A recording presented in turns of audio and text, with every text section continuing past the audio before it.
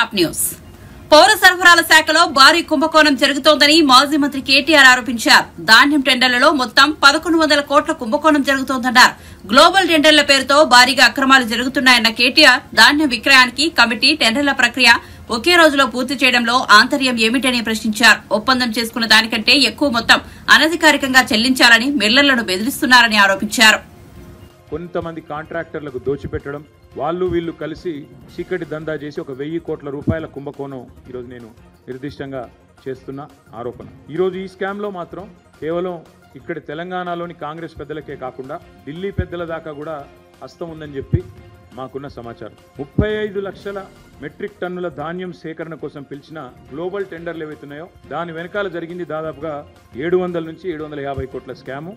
ఒకవైపు. రెండవది మధ్యాహ్న భోజన పథకం కోసం పిల్లలు తినే మధ్యాహ్న భోజనం బల్లల్లో. దానికోసం రెండు లక్షల ఇరవై వేల మెట్రిక్ టన్నుల సన్న బియ్యం కొనుగోళ్ళ పేరిట జరిగింది రెండో స్కామ్. దాని విలువ ఒక మూడు వందల కోట్లు. రెండు కలిపితే వెయ్యి పదకొండు కోట్ల కుంభకోణం పదకొండు వందల కోట్ల కుంభకోణానికి తెరలేపింది కాంగ్రెస్ సర్కార్. మిల్లర్ల దగ్గర ముప్పై ఐదు లక్షల మెట్రిక్ టన్నుల ధాన్యాన్ని ఏదైతే సేకరించినామో మా ప్రభుత్వం ఉన్నప్పుడు దాన్ని విక్రయించేందుకు మూడు నెలల కిందట రాష్ట్ర ప్రభుత్వ ఆదేశాలతో పౌర సరఫరాల శాఖ సివిల్ సప్లైస్ కార్పొరేషన్ గ్లోబల్ టెండర్ల కహానికి తెరలేపింది. ఇది మేము మా ప్రభుత్వం ఉన్నప్పుడు దాదాపు ఏడు వేల కోట్ల విలువ చేసే ధాన్యం నిల్వల మీద ఈ ప్రభుత్వం కన్నేసింది. జనవరి ఇరవై ఐదు నాడు కమిటీ వేసి కమిటీ వేసేది జనవరి ఇరవై ఐదు. మార్గదర్శకాలు గైడ్ లైన్స్ ఇచ్చేది అదే రోజు. టెండర్లు పిలవడం కూడా అదే రోజు. ఎంత వేగంగా ఎంత వాయువేగంగా జెట్ స్పీడ్తో ఏ పని కాదు ప్రభుత్వంలో. మిల్లర్లు రాష్ట్రంలో ఉండే రైస్ మిల్లర్లు. వాళ్ళు స్వయంగా కన్సెంట్ ఇచ్చినారు. ఆనాడు సివిల్ సప్లైస్ డిపార్ట్మెంట్కి ఆనాడు కానీ ఈనాడు కానీ ఇరవై ఒక్క వందల రూపాయలకు మేము కొనుగోలు చేయడానికి సిద్ధంగా ఉన్నాం అని రాష్ట్రంలో ఉన్న రైస్ మిల్లర్లు ప్రభుత్వానికి వాళ్ళు కన్సెంట్ ఇస్తే కన్సెంట్ అంటే వాళ్ళ ఉద్దేశం ఇనిషియేటివ్ తీసుకొని మేము తీసుకుంటాం అని వాళ్ళు ఆఫర్ ఇస్తే దాన్ని రిజెక్ట్ చేసి వాళ్ళ మాట వినకుండా గ్లోబల్ టెండర్ల పేరిట కొన్ని ప్రత్యేక నిబంధనలు పెట్టి ఇంత టర్న్ ఓవర్ ఉండాలి ఇంత టర్న్ ఓవర్ ఉండాలని చెప్పి కొన్ని నిబంధనలు పెట్టి వీళ్ళందరూ ఎవరైతే రైస్ మిల్లర్ పాపం చిన్నవాళ్ళు ఉన్నారో వాళ్ళందరినీ కూడా ఇందులో పక్కకు పెట్టి పక్కకు నెట్టి ఇవాళ గ్లోబల్ టెండర్లను పిలిచారు. ఈ గ్లోబల్ టెండర్లు నాలుగు కంపెనీలకు వచ్చేటట్టు రింగ్ చేసి చేసినారు. Kendriya Bhandar LG industries Hindustan company నాకాఫ్ అనే నాలుగు సంస్థలు దక్కించుకున్నాయి. ఆ కేంద్రీయ బండార్ అనే సంస్థ ఏదైతే ఉన్నదో దానికోసం రూల్స్ రిలాక్స్ చేసి బ్లాక్ లిస్ట్లో ఉన్నదాన్ని తీసేసి తొలగించి ఇవాళ నాలుగు కంపెనీలకే మొత్తానికి అక్కడ మిల్లర్లు ఇరవై ఒక్క వందల రూపాయలకు కొనుగోలు చేస్తామని సుముఖత వ్యక్తం చేసినా వాళ్ళు అల్టిమేట్గా చేసింది ఏంటి అంటే మరి పద్దెనిమిది వందల ఎనభై ఐదు నుంచి రెండు వేల ఏడు రూపాయలకు ఒక బ్యాండ్ ఫిక్స్ చేసి నాలుగు సంస్థలు కుమ్మక్కై మరి పూర్తి స్థాయిలో ఇరవై ఒక్క వందలకు దాదాపు రెండు వందల రూపాయలు తగ్గించి మరి కుంభకోణం చేసి ఈ నాలుగు సంస్థలు ఇంక్లూడింగ్ ఒక బ్లాక్ లిస్టెడ్ సంస్థకు కట్టబెట్టింది. వాళ్ళు చేయవలసింది కేవలం నైంటీ డేస్లో paddy thirty five lakh metric tons paddy lift చేసి ఏడు వేల ఐదు వందల కోట్లు ప్రభుత్వానికి కట్టాలి. వీళ్ళు ఏం చేస్తున్నారు? మిల్లర్లతో నేరుగా ఆర్థికపరమైన లావాదేవీలు మనీ లాండరింగ్ పాల్పడ్డారు. ఆ రైస్ మిల్లర్లను బెదిరిస్తూ ఇవాళ గోదాముల్లో ఉన్న ధాన్యాన్ని తీసుకొని పోకుండా ఇగో ఇది వాళ్ళు లావాదేవీలు పాల్పడ్డారనడానికి ఇక వాళ్ళ డైరెక్ట్గా వాళ్ళ కరెస్పాండెన్స్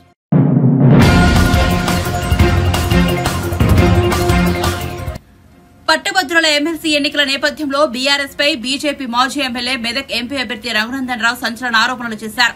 ఈ ఎన్నికల్లో ముప్పై కోట్లతో ఓట్ల కొనుగోలుకు ఆ పార్టీ తెరలేపిందన్నారు. ఈ మేరకు కేంద్ర ఎన్నికల సంఘం రాష్ట్ర ఎన్నికల ప్రధాన అధికారికి ఆయన లేఖలు రాసినట్టు చెప్పారు. తూప్రాన్లో ప్రైవేట్ కార్యక్రమంలో పాల్గొన్న ఆయన ఈ సందర్భంగా మీడియాతో మాట్లాడారు. నవంబర్ ఇరవై ఇరవై మూడులో ఎన్నికలు ఓడిపోయిన నాటి నుంచి తెలంగాణ రాష్ట్ర సమితి పార్టీ ప్రతి ఎన్నికలలో కేవలం డబ్బు ద్వారా మాత్రమే ఎన్నిక గెలవాలనుకునేటువంటి దుర్మార్గమైనటువంటి ప్రయత్నాన్ని చేస్తూ ఉన్నారు.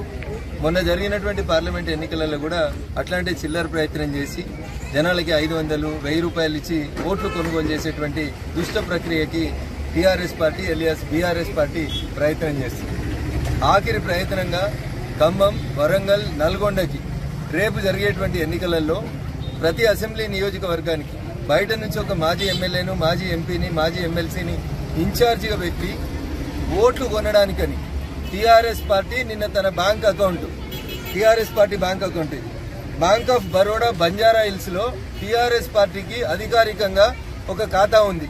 ఆ ఖాతా నుంచి నిన్న ముప్పై కోట్ల రూపాయల్ని ఎవరైతే గత శాసనసభలో సభ్యులుగా ఉండి ఇప్పుడు ఖమ్మం నల్గొండ వరంగల్ జిల్లాలకు సంబంధించినటువంటి పట్టభద్రుల ఎన్నికలకి రేపు ఓట్లు జరుగుతుంటే నిన్న ముప్పై కోట్ల రూపాయల్ని బంజారా హిల్స్లో ఉన్నటువంటి తమ Canara bank account number two double six one zero one double zero double zero two zero seven five అనే అకౌంట్ నుంచి నిన్న ముప్పై కోట్ల రూపాయల్ని టిఆర్ఎస్ పార్టీ ముప్పై మంది ఖమ్మం నల్గొండ వరంగల్లో పనిచేస్తున్నటువంటి ముప్పై మంది టిఆర్ఎస్ మాజీ ఎమ్మెల్యేలు మాజీ ఎంపీలు మాజీ ఎమ్మెల్సీలకు ట్రాన్స్ఫర్ చేసింది నేను తెలంగాణ రాష్ట్ర ఎన్నికల సంఘ ప్రధాన అధికారి వికాస్ రాజు గారికి మీ ద్వారా సవినయంగా అప్పీల్ చేస్తున్నా. ఎందుకు టిఆర్ఎస్ పార్టీ నిన్న ముప్పై కోట్లు తన అధికారిక ఖాతా నుంచి బదిలీ చేసింది? బదిలీ ఎవరెవరికి అయిందో ఆ ఎమ్మెల్యేలకి నిన్న కోటి రూపాయలు బదిలీ చేయాల్సినటువంటి అవసరం ఏముంది? దీని మీద సమగ్రమైనటువంటి విచారణ జరిపించాలని కొద్దిసేపటి క్రితం తెలంగాణ రాష్ట్ర ఎన్నికల సంఘానికి రాతపూర్వకంగా ఒక మెయిల్ ద్వారా కంప్లైంట్ అందజేయడం జరిగింది. దీని మీద వారు యాక్షన్ తీసుకోకపోతే టిఆర్ఎస్ పార్టీ కెనరా బ్యాంక్లో బ్యాంక్ ఆఫ్ బరోడాలో ఉన్నటువంటి ఈ అకౌంట్ని సీజ్ చేసి వారి మీద డిసిప్లినరీ యాక్షన్తో పాటు డబ్బులు పంచి ఎన్నికలు గెలవాలని ప్రయత్నం చేసినందుకు టిఆర్ఎస్ పార్టీ గుర్తింపుని రద్దు చేయాలని భారతీయ జనతా పార్టీగా మేము డిమాండ్ చేస్తా ఉన్నాం. నేను ఇంత స్పష్టంగా ఎన్నికల కమిషనర్కు పంపించిన కంప్లైంట్లో bank of Baroda branch Banjara hills account number two double six one zero one double zero double zero two zero seven five అనే ఖాతా నుంచి నిన్న మే ఇరవై ఐదో తారీఖు రోజు మే ఇరవై ఐదో తారీఖు రోజు ముప్పై కోట్ల రూపాయల్ని తన ఎమ్మెల్యేలు ఎమ్మెల్సీలు ఎంపీల ఖాతాల్లోకి బదిలీ చేసింది టీఆర్ఎస్ పార్టీ. ఎందుకు ఈ ముప్పై కోట్లు బదిలీ చేసిండ్రు? నేను చెప్పిన మాట అబద్ధమా? నిజమా అనేది రేపు పొద్దున తొమ్మిదిన్నరకి బ్యాంక్ ఆఫ్ బరోడా బంజారా హిల్స్కి వచ్చి విచారణ జరిపి ఆ ముప్పై కోట్లు బదిలీ చేసి టిఆర్ఎస్ పార్టీ రేపు జరిగేటువంటి గ్రాడ్యుయేట్ ఎమ్మెల్సీ ఎన్నికల్లో ఓట్లు కొనేందుకు చేస్తున్న ప్రయత్నాన్ని ఆపాలని ఎన్నికల సంఘానికి విజ్ఞప్తి చేస్తా ఉన్నాం. లేకపోతే ఖచ్చితంగా ఎన్నిక ముగిసిన తర్వాత కూడా ఎన్నికల సంఘం అధికారుల మీద ఢిల్లీకి వెళ్ళి కూడా ఫిర్యాదు చేస్తామని చెప్పి ఈ సందర్భంగా తెలియజేస్తా ఉన్నాం.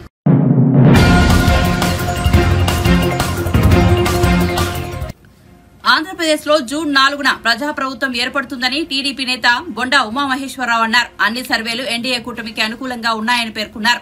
తిరుమల శ్రీవారిని బొండా ఉమా ఆదివారం దర్శించుకున్నారు. వీఐపీ ప్రారంభ విరామ దర్శన సమయంలో స్వామివారి సేవలో పాల్గొని మొక్కులు చెల్లించారు. అనంతరం మీడియాతో ఆయన మాట్లాడారు.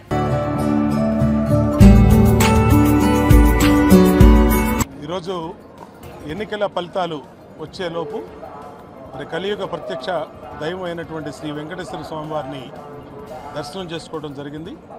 ఆయన ఆశీస్సులతో రేపు నాలుగో తారీఖు నాడు ప్రజాప్రభుత్వం ఈ రాష్ట్రంలో ఏర్పడబోతూ ఉంది. దాంట్లో ఎటువంటి సందేహం లేదు. అన్ని సర్వేలు కూడా ఇవాళ మొత్తం ఎన్డీఏ కూటమికి అనుకూలంగా చూపిస్తున్నటువంటి తరుణంలో ఆ వెంకటేశ్వర స్వామి ఆశీస్సులతో కొత్త ప్రభుత్వం ఏర్పడబోతూ ఉంది. అన్ని వ్యవస్థల్ని ప్రక్షాళన చేయాల్సిన అవసరం ఉంది. అన్ని వ్యవస్థల్ని కూడా మళ్ళీ గాడిలో పెట్టవలసిన అవసరం ఉంది. ఈ రాష్ట్రంలో మళ్ళీ ప్రజలకి మెరుగైన పరిపాలన వెంకటేశ్వర స్వామి ఆశీస్సులు చేయవలసిన అవసరం ఉంది.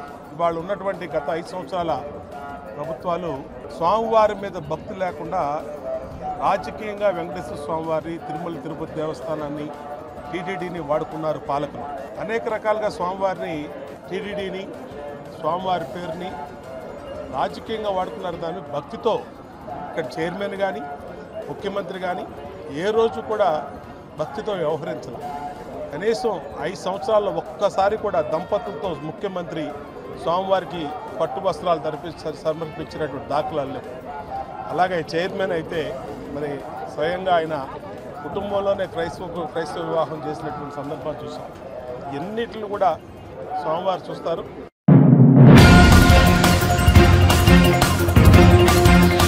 మాచర్ల ఎమ్మెల్యే పిన్నెల్లి రామకృష్ణారెడ్డి బాధితుడు టీడీపీ పోలింగ్ ఏజెంట్ మాణిక్యాలరావుతో కలిసి టీడీపీ పొలిట్ బ్యూరో సభ్యుడు వల్లరామయ్య మీడియా సమావేశం నిర్వహించారు.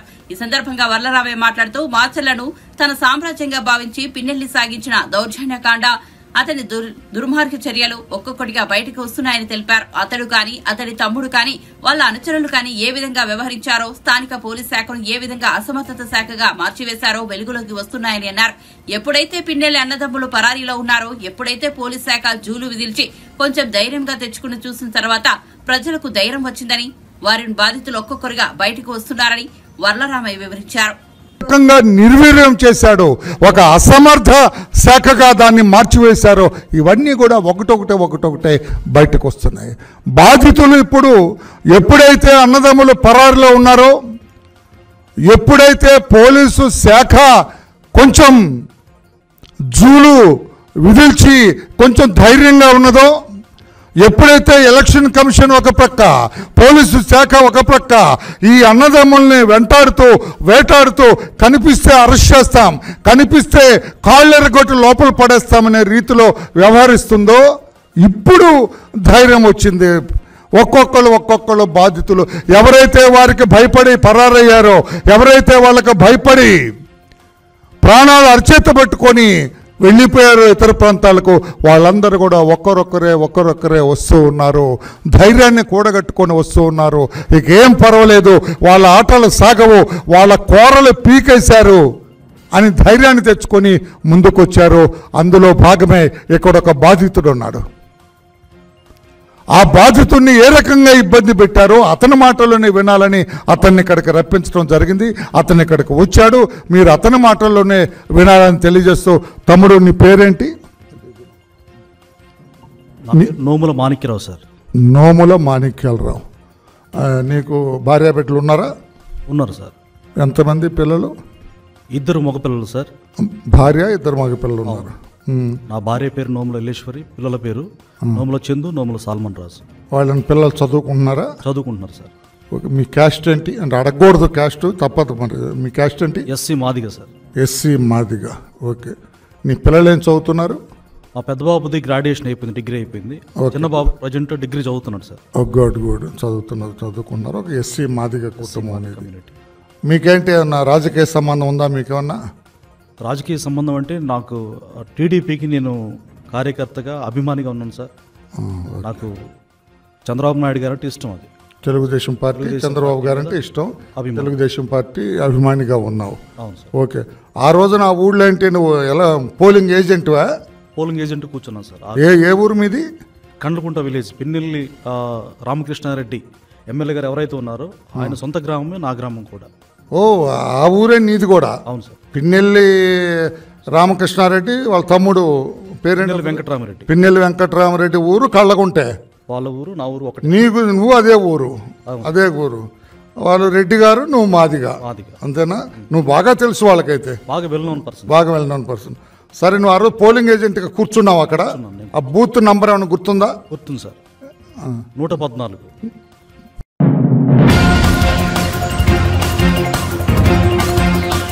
ఎంపీ ఎన్నికల్లో సీట్లు రావని అక్కసుతోనే తమ ప్రభుత్వంపై బీఆర్ఎస్ బీజేపీ నేతలు అబద్దాలు తప్పుడు ప్రచారం చేస్తున్నారని ఐటీ ఇండస్ట్రీ శాఖ మంత్రి శ్రీధర్బాబు మండిపడ్డారు. ప్రతిపక్షాల విమర్శలకు తన పనితీరే నిదర్శమని ఆయన స్పష్టం చేశారు. ఆదివారం శ్రీధర్ బాబు గాంధీభవన్లో మీడియాతో మాట్లాడారు. పదేళ్ళలో జరిగే తప్పులను మూడు నెలల నుంచి సెట్ చేస్తున్నామని ఇంతలోనే ఎంపీ ఎలక్షన్ కోడ్ వచ్చిందని తెలిపారు. మార్పునకు అడ్డు వస్తే సహించేది లేదని ప్రజల సంక్షేమమే తమకు ముఖ్యమని అన్నారు. అబద్దాలు ప్రచారం చేస్తే బీఆర్ఎస్ పార్టీ కనుమరుగైపోతుందని హెచ్చరించారు. తమ సర్కార్ ప్రజలకు ఇస్తున్న పథకాలను కేసీఆర్ కేటీఆర్ హరీష్ రావు పక్కదోవ పట్టిస్తున్నారని ఆరోపించారు. ముఖ్యంగా పవర్ సివిల్ సప్లై ఇరిగేషన్ ఇండస్ట్రీలపై అబద్దాలు ప్రచారం చేస్తున్నారని ఫైర్ అయ్యారు. ఆహ్వాన చేసిండ్రు. దాదాపు రెండు నెలలు ముప్పై ఐదు రోజుల తర్వాత కొత్త సభ్యుల ప్రమాణ స్వీకారోత్సవం చేసినట్టే నలభై రోజులు గడిచిన తర్వాత. అదే మీరు కంపారిజన్ చేస్తే మీరు పోల్చుకుంటే నలభై రోజుల్లో మేమిచ్చిన ఐదు గ్యారంటీలో అన్నీ చాలా ప్రధానమైన గ్యారంటీలు మొదలుపెట్టినాం. సరే మాట్లాడుతూ ఉన్నారు కదా అని. పవర్కు సంబంధించి పేదవారికి ఉపయోగపడేది ప్రభుత్వంలో రాగానే మేము ఏం చేస్తామన్నాం కరెంటు ఛార్జీలు పెరిగినాయి. పెరిగిన తర్వాత వారు కట్టుకోలేని పరిస్థితుల్లో ఇబ్బంది పడతా ఉన్న తరుణంలో రెండు వందల యూనిట్ల వరకు ఉచిత కరెంట్ ఇస్తామన్నాం. కరెంటుకు సంబంధించి చెప్తా ఉన్నాం. చెప్తా ఉంటే రెండు వందల యూనిట్ల కరెంటు రెండు నెలల నుంచి ఈ రాష్ట్ర ప్రజానికానికి రెండు వందల యూనిట్ల లోపడే ఆ వినియోగదారుడికి ఫ్రీ కరెంట్ ఇస్తూ ఉంటే ఈ ఫ్రీ కరెంటు అంశాన్ని ప్రక్కదారి పట్టేయాలని. ఆనాడు ఉన్న ముఖ్యమంత్రిగా కేసీఆర్ గారు బస్సు యాత్ర చేసిండ్రు ఎన్నికల్లో గెలవాలని.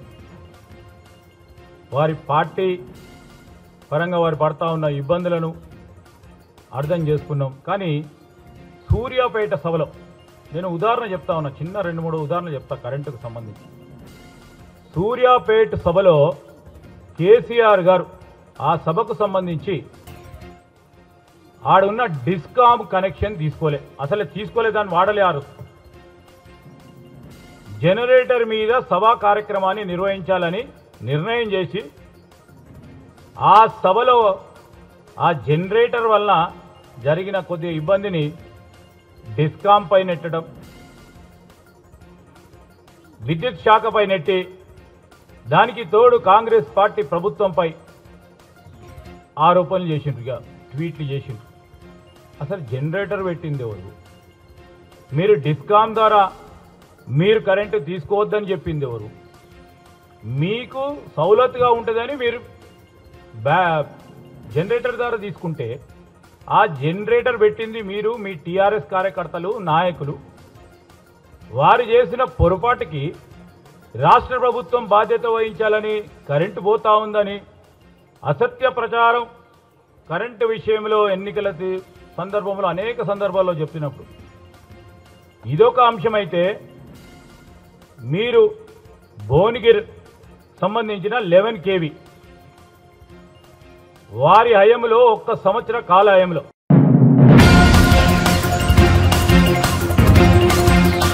ఇటీవల తిరుపతిలో చంద్రగిరి టీడీపీ అభ్యర్థి పులివర్తి నానిపై దాడి కేసులో ఆరోపణలు ఎదుర్కొంటున్న వైసీపీ నేత చెవిరెడ్డి భాస్కర్ రెడ్డి మీడియాతో మాట్లాడారు.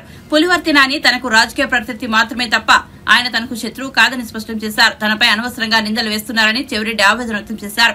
నియోజకవర్గంలో ఈ ఐదేళ్ళలో తాను ఒక్కరిపై చేయి చేసుకున్నట్టు గాని కనీసం చిన్న మాట తిట్టినట్టు గాని చూపించగలరా అని వ్యాఖ్యానించారు. ఇంతకంటే హుందాగా ఎలా ఉండాలో చెప్పండి అంటూ అడిగారు. నిద్ర రాత్రులు గడుపుతున్నారు. ఎవరిని ఎప్పుడు ఏం జరుగుతుందో. అంటే ఒక వ్యక్తి తన ప్రచారం రావడం కోసం. ఒక వ్యక్తి తన ప్రచారాన్ని పెంచుకోవడం కోసం.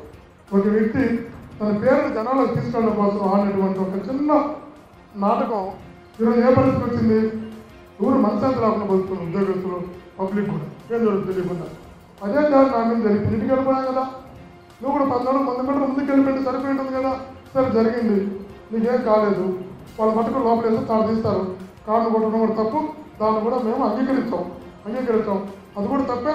చట్టం ఖచ్చితంగా వాళ్ళ మీద తప్పు చేసినప్పుడు యాక్షన్ తీసుకోవాల్సింది. కానీ మీరు ఆ తర్వాత చేసినటువంటి దాడులు ఆ తర్వాత చేసినటువంటి కొట్టినటువంటి విధానాలు ఆ తర్వాత నువ్వు రెచ్చగొట్టిన విధానం ఆ తర్వాత హాస్పిటల్ మీద హాస్పిటల్లో చేసినటువంటి దాడులు ఇవన్నిటి వల్ల ఏమైంది? ఏదో జరిగిపోతుందని నాన్నగారి పైన ఏదో జరిగిపోయిందని నాన్నగారికి ప్రణామాయం వచ్చిందని నాన్నగారు జరిగిందని ఒక పెద్ద మెసేజ్ జనాలకి పంపించేసిన తర్వాత తిరుపతి ఈ పుణ్యక్షేత్రంలో తిరుపతి ఇమేజ్ ఎంతో డ్యామేజ్ అవుతుంది సార్ ఆలోచించాం మనం. నేను నేను చెప్తున్నాను విమర్శించాలని ఆలోచన కాదు. కానీ మీకు అందరికీ తెలియాలి ఏం జరుగుతుంది. నా ఉద్దేశం నాన్నగారు మాట అనాలని కాదు. మీరే చూస్తారు ఎంత యాక్టివ్గా ఉన్నారు. టూ అవర్స్కి ఎందుకు వచ్చింది ఆ పరిస్థితి? రాకూడదు కదా. రాకూడదు కదా. ఇవి చాలా ప్లాట్ఫామ్స్ ఉంటాయి. మన జనాల్లో మంచి పేరు తెచ్చుకోవాలంటే లేదంటే ఇంకా ఎదగాలనుకుంటే ఒక ఒక వ్యక్తిని మనం ముందుకు ఇబ్బందులకు నెట్టి మనం ఎదగాలనుకోకూడదు. నేను నేను ఆ రోజు చెప్తున్నాను ఈ అయిన తర్వాత నిజంగా ఆయన పిహెచ్డి నేను ప్రొఫెసర్ ఎనిమిదో ఈ రెండుసార్లు నేను నేను high school SPL junior college chairman degree college chairman ML university chairman లాలా లా కాలేజ్ చైర్మన్ ఇరవై ఏడు ఇరవై ఐదు సంవత్సరాల ముందు తిరుపతి రాని ఇరవై ఏడు సంవత్సరాల వయసులో తిరుపతి జెడ్పీటీసీ ముప్పై నాలుగేళ్ళకి నేను తిరుపతి చైర్మన్ అది చిన్న వయసులో పాలకమండలి సభ్యుడు. ఫార్టీ త్రీ ఇయర్స్కి ఎమ్మెల్యే చిన్నప్పటి నుంచి ఎన్ని చూసిన తర్వాత నేను ప్రొఫెసర్గా వెళ్ళిపోదాం ఎన్ని ప్రత్యక్ష రాజకీయాల నుంచి కాదు పరోక్షంగా మనం వెళ్ళి ఒక సర్వీస్ ఓరియంటెడ్ వెళ్ళిపోవాలనే టూ ముందు వెళ్ళిపోయినా. ఆ రోజు నా కొడుకు ఎందుకు తీసుకొచ్చామంటే కాన్ఫరెన్స్తో భావోద్వేగ సంబంధం ఏర్పడింది ఎమోషనల్ బాడీ దగ్గర సంబంధం ఏర్పడింది.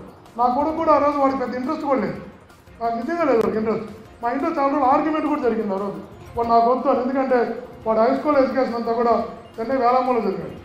ఇంటర్మీడియట్ అంతా కూడా అండర్ గ్రాడ్యుయేషన్ అంతా కూడా సింగపూర్లో చదివాడు మాస్టర్స్ వచ్చి లండన్లో ప్రపంచం టాప్ టెన్ యూనివర్సిటీ ఒకటి ఆర్మిక్ డిస్టెన్స్లో పాస్ నేను బిజినెస్కి వెళ్ళిపోతా బ్యాంకింగ్ అండ్ అకౌంటింగ్ మార్కెటింగ్ వెళ్ళిపోతా నాకు.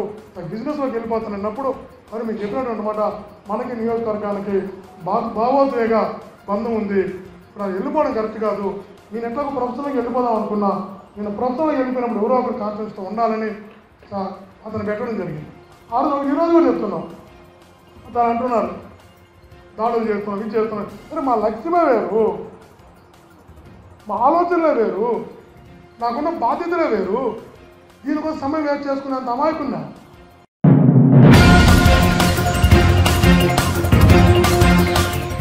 ఏపీలో ముఖ్యంగా నెల్లూరు జిల్లాలో ఎన్నికల కౌంటింగ్ ప్రక్రియ సజావుగా సాగుతుందనే నమ్మకం తమకు లేదన్నారు మంత్రి కాకాని గోవర్ధన్ రెడ్డి. జిల్లా రిటర్నింగ్ అధికారిగా ఉన్న ప్రస్తుత కలెక్టర్ ఆధ్వర్యంలో లెక్కింపు సజావుగా సాగదని అనుమానం వ్యక్తం చేశారు ఆయన. జిల్లా కలెక్టర్ పక్షపాత ధోరణితో పనిచేశారని విమర్శించారు. నెల్లూరు జిల్లాలో కౌంటింగ్ ప్రక్రియ పర్యవేక్షించేందుకు ఒక అబ్జర్వర్ను నియమించాలన్నారు. కాకాని ఏపీలో ఎన్నికల కమిషన్ పక్షపాత ధోరణిలో వ్యవహరించిందన్నారు. మంత్రి కాకాని పోలీసు అధికారులు ఉద్దేశపూర్వకంగా బదిలీ చేసిందని కొత్తగా బాధ్యతలు చేపట్టిన పోలీసు అధికారులు ఆయా జిల్లాల్లో ఉద్రిక్తతలు రెచ్చగొట్టారని చెప్పారు. వైసీపీ బలంగా ఉన్న చోట కేడర్ని భయభ్రాంతులకు గురి చేశారని టీడీపీ దాడులకు పరోక్షంగా సాయం చేశారని చెప్పారు. మాచలలో ఈవీఎంలు పాల్గొట్టిన ఘటన వీడియో ఎలా బయటకు వచ్చిందో చెప్పలేని దుస్థితిలో ఎన్నికల కమిషన్ ఉందన్నారు. కాకాని ఎవరైతే పంచారో వాళ్ళ దగ్గర కూడా వివరాలు రాబట్టకుండా వాళ్ళ దగ్గర వివరాలు తీసుకోకుండానే నేరుగా పోలీస్ స్టేషన్కి ఎఫ్ఐఆర్ నమోదు చేయండి అని చెప్పి చెప్పారు కొంతమంది ఉద్యోగులు పాల్గొంటే పాల్గొన్నటువంటి వాళ్ళ మీద ఎఫ్ఐఆర్ నమోదు చేశారు. తప్పులేదు. ఎన్నికల కమిషన్కి సంబంధించి విధి విధానాల ప్రకారం. అయితే ఒక అంగన్వాడీ టీచర్ పాల్గొనింది అంటే ఆ తర్వాత ఆమె రాజీనామా చేసింది కాబట్టి ఆమె మీద చర్యలు తీసుకోలేదన్నారు. అంటే మీ దగ్గర సర్వీస్ రూల్స్ ఏం చెప్తుంది? ఎన్నికల కమిషన్ నిబంధనలు ఏం చెప్తున్నాయి? వాళ్ళ రాజీనామా ఆమోదించినంత వరకు వాళ్ళు విధులు ఏదైతే దొరికిన తర్వాత ఫిర్యాదు చేసిన తర్వాత వాళ్ళు వెళ్ళి రాజీనామా చేస్తే రాజీనామా చేశారు కాబట్టి మేము వదిలేసాం బాగానే ఉంది. మిగతా వాళ్ళు పాపం ఒక ప్రొసెషన్ వెళ్తూ ఉంటే అది వాళ్ళని క్రాస్ చేసుకుంటూ పోతే ఓ పత్రికలో వీళ్ళు పాల్గొన్నారని చెప్పి చెప్పి వేస్తే విచారణ లేకుండా ఎఫ్ఐఆర్ కట్టించేశారు. కాబట్టి ఇంత పక్షపాత వైఖరి జిల్లా స్థాయిలో ఎన్నడూ కూడా అవలంబించినటువంటి పరిస్థితులు లేవు. కాబట్టి దీని మీద ఇంతటితో విడిచిపెట్టాం. మరలా ఎన్నికల కమిషన్కి చెప్పాం. ఎక్కడన్నా మానవతా దృక్పథంతో డబ్బులు పంపిణీ చేయొచ్చా? మీరు మాకు వివరణ ఇవ్వండి అని చెప్పి అడిగాం. దాని మీద ఎన్నికల కమిషన్ స్పందిస్తుందని ఆశిస్తున్నా లేని పక్షంలో ఖచ్చితంగా హైకోర్టులో కేసు వేసి ఎవరైతే దీనికి బాధ్యులు ఉన్నారో అందరినీ కూడా దాంట్లో బాధ్యులుగా చేర్చి వాళ్ళ మీద హైకోర్టుకి వెళ్ళి ఖచ్చితంగా దీని మీద చర్యలు తీసుకోవడం జరుగుతుంది తప్ప ఎవరో మా ఇష్ట ప్రకారం వ్యవహరిస్తాం మేము జిల్లా ఎన్నికల అధికారిగా ఉన్నామని చెప్పి చెప్పి వ్యవహరిస్తే మాత్రం విడిచిపెట్టేది ఉండదు. కాబట్టి దీని మీద ఆర్ఓకు కూడా మరలా ఒకసారి అధికారికంగా వెళ్ళి నేనే స్వయంగా వెళ్ళి ఫిర్యాదు చేద్దాం అనుకున్నాం. కాబట్టి వెళ్ళి అధికారికంగా ఆర్ఓ కూడా మళ్ళీ ఒకసారి నేనే ఫిర్యాదు చేస్తా దొరికినటువంటి వీడియో క్లిప్పింగ్ని బట్టి. ఈరోజు దాన్ని బట్టి వాళ్ళే ఇచ్చారు పంచింది వాస్తవం అని ఒప్పుకున్నారు. కాబట్టి క్లియర్ కట్ ఎఫ్ఐఆర్. ఇంక దాని మీద విచారణ కూడా అవసరం లేదు. మానవతా దృక్పథంతో పంచాడా ఇంకొక దృక్పథంతో పంచాడా ప్రతి ఒక్కడు ఎన్నికల్లో పంచేవాడు మానవతా దృక్పథం అని చెప్తాడు. తీసుకునేవాడు మానవతా దృక్పథంతోనే తీసుకుంటాడు. కాబట్టి మానవతా దృక్పథంతో పంచాము అని చెప్పి చెప్పని ఎక్కడన్నా ఎవరైనా ఇంతవరకు నాకు తెలిసి ఈ దేశ స్థాయిలోనే రాష్ట్రంలో వదిలిపెట్టిన దేశ స్థాయిలో కూడా ఎవరు రిపోర్ట్ రాసుకున్నాడు నెల్లూరు జిల్లా ఎన్నికల అధికారి తప్ప. కాబట్టి ఇటువంటి దారుణమైనటువంటి వైఫల్యాలు జరిగాయి. కాబట్టి నేను మరలా ఇంకొక ఎన్నికల కమిషన్ దృష్టి కూడా తీసుకువెళ్ళాం. ఇటువంటి వాళ్ళ నేతృత్వంలో రేపు కౌంటింగ్ కూడా సజావుగా సాఫీగా జరగకపోవచ్చు. కాబట్టి మీరు ఒక పరిశీలకుని నియమించండి ప్రత్యేకంగా. రాష్ట్ర ఎన్నికల అధికారిగా ఈ జిల్లాలో ఎన్నికలు సజావుగా సాఫీగా జరగవు అని చెప్పి చెప్పని పరిశీలకుడు కూడా వాళ్ళు నియమించండి అని చెప్పి చెప్పని కూడా ఎన్నికల కమిషన్కి ఈరోజు రాయడం జరిగింది. కాబట్టి వీటన్నిటినీ దృష్టిలో పెట్టుకొని మరొకసారి ఎంత దారుణమైనటువంటి వైఫల్యం. బూతుల్లోకి వెళితే కనీసం వెళ్ళడానికి చోటు లేదు. కొన్ని దగ్గర లైట్లు లేవు. కొన్ని దగ్గర పాపం కరెంట్ కనెక్షన్ లేవు. అన్ని రకాలైనటువంటి ఇబ్బందులు పడితే రెండు బూతులు వెయ్యి మంది ఓటు వేయడానికి ఒక ఎన్సీసీ క్యాడెట్ని పెడతారా? పాపం వాళ్ళు వీళ్ళని నిరోధించగలరా? క్రమబద్ధీకరించగలరా? కనీసం లా అండ్ ఆర్డర్ ప్రాబ్లం లేకపోవచ్చు. శాంతి భద్రతల సమస్య లేకపోవచ్చు. ఎవడన్నా పాపం బాగలేదనో ఆకలియో షుగరనో ముందుగా వెళ్ళి ఓటు వేయడానికి ముందుకు వెళ్ళొచ్చు. వాళ్ళని కనీసం క్రమబద్ధీకరించి పంపించగలిగేటువంటి యంత్రాంగాన్ని మీరు నియమించుకోలేకపోతే ఎక్కడో తీసుకొచ్చి తమిళనాడు పోలీసుని పెట్టారు. వాళ్ళకి పాపం తెలుగు రాదు. వీళ్ళు పోయి చెప్పేది వాళ్ళకి అర్థం కాదు. వాళ్ళు చెప్పేది వీళ్ళకి అర్థం కాదు. దానికి సంబంధించి రెండో వాడు ఉన్నాడు అంటే రెండో వాడు లేడు చెప్పుకోవడానికి. ఎంత దారుణమైనటువంటి పరిస్థితి అంటే నాకు తెలిసి నెల్లూరు జిల్లాలో ప్రజలకు నిజంగా చేతులెక్కి మొక్కాలి పాపం. ఎక్కడో చెదురుమదుర సంఘటనలు జరిగాయి కానీ ఎవరు ఎంతమంది ప్రేరేపించినా సరే శాంతియుతంగా నిలబడి రాత్రి పన్నెండు గంటలు ఒంటి గంటలైనా సరే ఓటింగ్లో పాల్గొని దాన్ని బాధ్యతగా ఈరోజు మనం ఓటు వేయడం అనేటువంటిది మన బాధ్యత అని గుర్తించినటువంటి నెల్లూరు జిల్లా ప్రజల్ని. పాపం పోలింగ్లో పాల్గొన్నటువంటి అధిక శాతంలో ఎక్కడన్నా ఒకటేరా ఉండొచ్చు కానీ లోపాలు. అధిక శాతం పోలింగ్ సిబ్బంది కష్ట నష్టాలకు ఓర్చి నేను అనుకున్నా ఈ ఎన్నికల్లో కనీసం ఈరోజు జరిగినటువంటి పరిస్థితుల్లో ఈ బాక్సులైనా స్ట్రాంగ్ రూమ్కి చేరతాయా అనేటువంటి అనుమానం కలిగింది. నేను రాత్రంతా మేలుకుని ఉన్నా. ఎక్కడికక్కడ ఫోన్లు చేస్తే ఇంతవరకు మాకు బస్సులు రాలేదు ఇంతవరకు బండి రాలేదని ఎప్పుడైనా ఒక రూట్ బస్సు అని ఉంటే పోలింగ్ అయిపోయిన తర్వాత గంట కల్లా వచ్చి మామూలుగా డబ్బాలు తీసుకెళ్ళేది ఏది? మా మామూలుగా పోలింగ్ బాక్సులు ఉన్న రోజుల్లోనే. ఈవీఎంలు తీసుకెళ్ళడానికి అర్ధరాత్రి నుంచి పాపం ఎదురు చూస్తే ఏజెంట్లు అన్ని పార్టీలకు సంబంధించినటువంటి ఏజెంట్లు అందరూ కూర్చుంటే వేకుజామున ఏడు గంటలు ఎనిమిది గంటల దాకా వచ్చి ఆ బస్సులు తీసుకెళ్ళాయి. కాబట్టి రవాణా శాఖకు సంబంధించి మీరు ఎందుకు వైఫల్యం చెందారో రవాణాకు సంబంధించి ఎందుకు అక్కడ కనీస ఏర్పాట్లు చేయలేకపోయారు? ఎవరు లోపం మీద అనేటువంటి దాని మీద కూడా పూర్తి స్థాయి దర్యాప్తు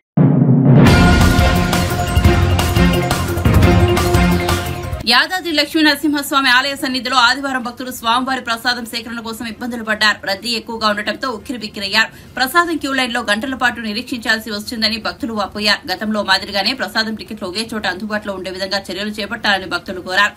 టికెట్ కౌంటర్ ఒక చోట ఎగువన ఏర్పాటు చేయడం లడ్డూల విక్రయం మరో చోట ఏర్పాటు చేయడం పట్ల భక్తులు అయోమయానికి గురయ్యారని తెలిపారు.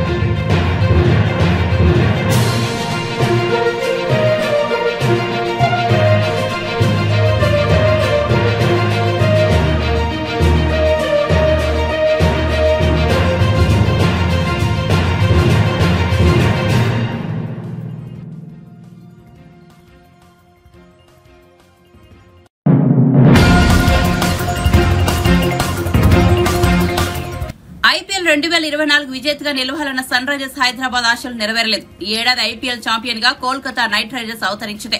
కోల్కతా నైట్ రైడర్స్తో జరిగిన ఫైనల్స్లో పాట్ కమిన్స్ నాయకత్వంలోని సన్ రైజర్స్ అన్ని రంగాల్లో విఫలమైంది. చెన్నైలోని ఎంఏ చిదంబరం స్టేడియంలో జరిగిన ఈ మ్యాచ్ కోల్కతాలో ఎనిమిది వికెట్ల తేడాతో ఘన విజయం సాధించింది. ఈ టైటిల్ సమరంలో టాస్ గెలిచి బ్యాటింగ్ చేసిన సన్ రైజర్స్ పద్దెనిమిది పాయింట్ మూడు ఓవర్లలో నూట పదమూడు పరుగులకే ఆల్అౌట్ అయితే ఆ స్వల్ప స్కోరును కాపాడుకునేందుకు సన్ రైజర్స్ విఫలయత్నం చేసింది. నూట పద్నాలుగు పరుగుల విజయ లక్ష్యాన్ని కోల్కతా జట్టు పది పాయింట్ మూడు ఓవర్లలో కేవలం రెండు వికెట్లు కోల్పోయి ఛేదించింది. వెంకటేష్ అయ్యర్ విధ్వంసక ఇన్నింగ్స్లో కోల్కతా విజయం కీలక పాత్ర పోషించాడు. వెంకటేష్ అయ్యర్ ఇరవై ఆరు బంతుల్లో నాలుగు ఫోర్లు మూడు సిక్స్లతో యాభై రెండు పరుగులతో అజేయంగా నిలిచాడు.